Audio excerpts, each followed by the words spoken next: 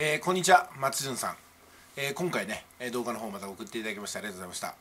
あ結局で情報っていうのは第一次情報で理解できない方もいるんですよ。読解力っていうのは差がありますからね、まあ、ですのでそういう方のためにこういった第一次情報を噛み砕いて分かりやすくこういう人にはこういうふうな使い方ですよ。こういう方にはこういうふうなものが使えますよっていうふうにちょっとね読みやすく分かりやすくしたものがあるんですよね。まあ、それが多分この高木弥子さんでしたっけね紹介されてるノートのところに出ていたと思いますけどもさらにこの高木弥子さんのことを分かりやすい人ですよっていうふうに紹介する第三次情報っていうのがあるわけですよ。これが今回松潤さんが作ってくれた動画に該当するんですよね。でこれを知った人は今度は第4次情報になるんでこんなのがあるよっていうふうに知らせることがあるんですよね人に。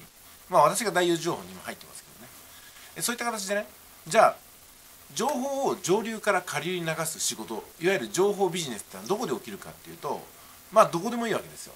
第一次情報。ね。例えば観光庁のホームページって私いつも毎日見てるんですよ。補助金とか助成金とか出る経済産業省もそうですしそれから厚生労働省ね。そして今回みたいな文化庁のホームページはこと細かく見るわけですよ。これいつも見てるんですよね。見ているとあこれは自分に当てはまる制度だなとかね。市区町村のホームページでもあこれは自分に重なるじゃんみたいなのがあるわけですよ。そうなるとそこからですね。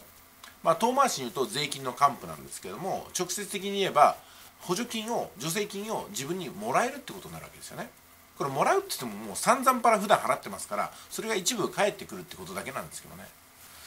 さあでもそういうことなんですけども世の中には私が日々常日頃からねお得情報を発信してるのはもう世の中に溢れてるんですよ。お金あげますよとかねお得ですよとかサービスですよっていうのが溢れてるんですよ。溢れてるんですけども普段人は気づかないんですよ。プラス気づいてもどうせ自分には当てはまらないっていうふうな先入観を持ってるんですよ。だからそうじゃない。今回の文化庁の取り組みは私はねアマチュアでただお稽古をしてるだけなんですよ。お稽古三味線のお稽古をしてるだけです。で三味線を自分で買ってきて三味線のいろんな道具をね揃えて手入れを自分でしてそして自分で練習して発表する場っていうのは自分で作るわけじゃなくってえー、どっかに発表する場をやってる人がいるからそこにちょっとね脇に15分ぐらい出させてもらう。2曲3曲やらせてもらうぐらいのもんなんですよ。もちろんチケットはこうノルマがありますけども自分で売る場合もあればもう売れなくてかぶる場合もあります。まさにアマチュアバンドみたいなもんですよ。三味線アマチュアバンドなんですよ。あしかしですねこういう取り組みにも今回新しいねコロナ対策をして次の活動に向けてください。そういう時でもお稽古をしてくださいっていうことで文化庁から補助金が出ると。いうことだったんですよね。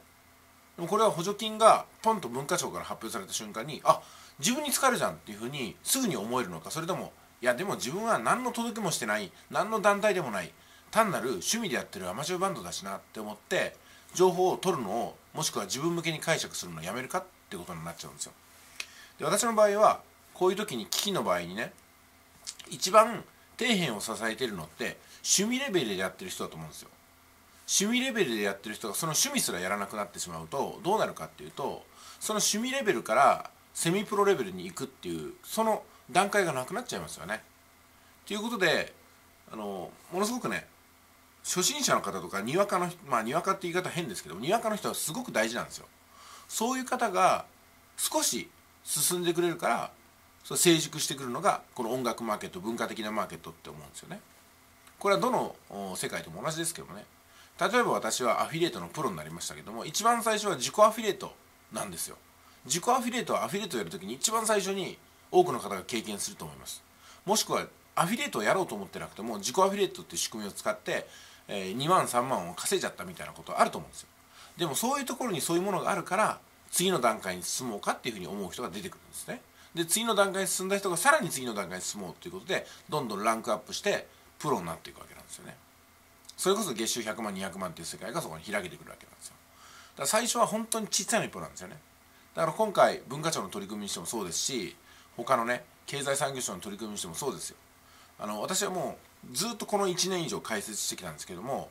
ネットワークビジネスをやってる人もそれはビジネスなんでちゃんとね補助金を受けてくださいよと。100万200万。それから一時支援金今30万60万。これから毎月継続支援金になるわけですよ。毎月20万40万支給されるわけですよ。でこれをあなたのネットワークビジネスあなたビジネスでしょと。メルカリ転売やってるんでしょと。あなたはビジネスやってるんでしょ。ねどんなことでも副業を上げていればそれはビジネスなんですよ。立派な個人経営なんですよ。もしくは売上がゼロであっても取り組んでいれば何らかの施策を受けれるんですよね。でこれをね多くの人は誤解していていや自分のやってるものはそんなビジネスっていうね大それたもんじゃないからこれで請求したら不正だって言って怒られちゃうよみたいな感じでね。勝手に自分の可能性潰してるんですけどもそうじゃないと。そうじゃない。一番本当にね自分なんてそれに該当しないよねっていう人に向けて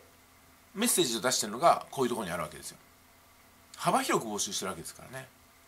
ということでねいろいろと申し上げましたけども今回松潤さんね、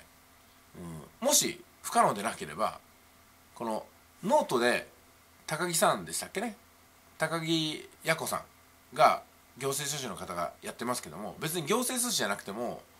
その文化庁のホームページが解釈できればこれ松潤さんがやってもいいんですよ。でもっと言ったら松潤さんがこれを解説することによって一ミュージシャンとして私はこれを受けてますとか受けようと思ってますってことで放送することによって松潤さんに期待が集まるんですよね。ですので今回ねその高木弥子さんの紹介することになっちゃいましたで高木弥子さんのアクセスにこう転化しちゃうんですよ。もしかしたらこれを機会に松潤さんのファンをやめて高木弥子さんの方に行っちゃうかもしれませんので